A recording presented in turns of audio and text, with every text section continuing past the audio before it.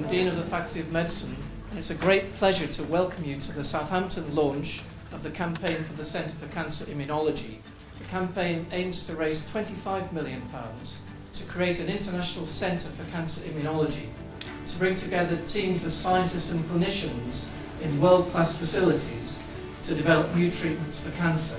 Without more ado, it's my great pleasure to invite Peter Johnson, who's the Professor of Oncology at Southampton University and the Chief Clinician of Cancer Research UK. He'll then be joined on the panel by Professor Dame Jessica Corner. I'm a, a nurse by background, a cancer nurse, and I've worked in um, research and academia for very many years. Fiona Dalton. I'm the Chief Exec of um, University Hospital Southampton. And Tom Worthen. What I'm here to do is to do the um, good luck story of being the chap who's had melanoma, diagnosed in August 2012, and now, fingers crossed, does not have melanoma. Speed up the pace of progress and to understand in a much more detailed way what the effects of these treatments might be. This is an incredibly rapidly moving field. It's quite a complicated field as well.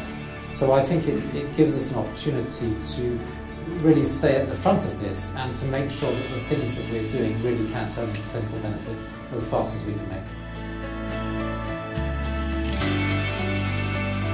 Whereas chemotherapy is obviously sort of whacking your body and whacks the good bits of your body and hopefully whacks few cancer bits as well, the immunotherapy is trying to help your body. So in that sense, it feels much better as a patient to be benefiting from it, to know that your body's being boosted.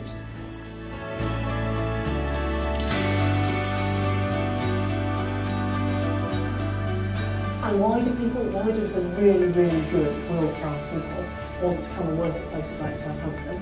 Um, and they want to do that because we can be at the cutting edge of doing things differently, of discovering new things. Um, and that's a really exciting place to be.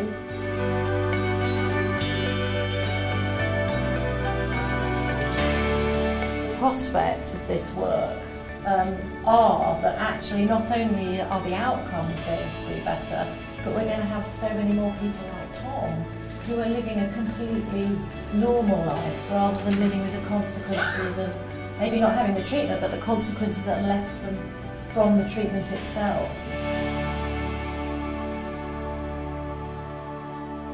looks like the people whose cancers go away, and this is an unusual thing to say for things like melanoma and, lung cancer, it looks like when they've gone away, they stay away.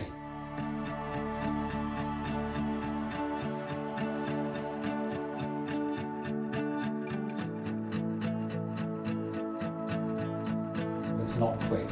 One of the reasons for wanting to develop the centre is firstly to accelerate that and secondly to give us a, a, a platform with which we can collaborate with people like pharmaceutical companies who have just they've got resource to bring into these things to accelerate the progress much more. So this will act as a focus not only for internal research but as a much more broad collaborative network both in the UK and, and overseas and also into the commercial sector. Thank you again to those of you who have already supported the campaign. And I'd ask you all to consider how you might be able to help.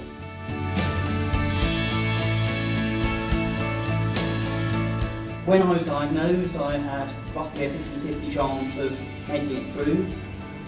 I've been able not only to survive and to be apparently happy and healthy now, but to do that while living my normal life, working pretty much as I normally would, playing sport, going out with friends, doing all the normal things that I did before and that I thought I probably wouldn't be able to do again.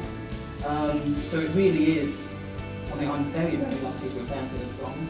And I'm here really just to support that and to encourage you all to support it.